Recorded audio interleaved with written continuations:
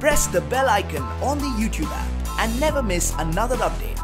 The founding father of UAE, Sheikh Zayed bin Sultan Al Nahyan.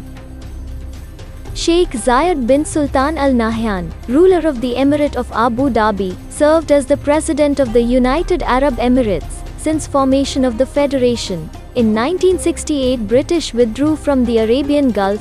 Sheikh Zayed stepped into action, quickly establishing ties with the Emirates. Together with the late ruler of Dubai, Sheikh Zayed called for a federation of the seven Emirates. وقد تم في هذا اليوم المبارك التوقيع على الدستور المؤقت للإمارات العربية المتحدة UAE formally emerged on the international stage on the 2nd of December 1971. After Sheikh Zayed was successful in uniting the Arab Emirates, Sheikh Zayed was a man of deep religious faith, vision, determination, and hard work, generous at home and abroad, devoted his life to the service of his people.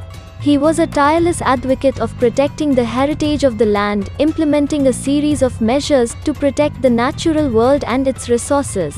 UAE's father of the nation, Sheikh Zayed, died in year 2004 and remained president of UAE until then.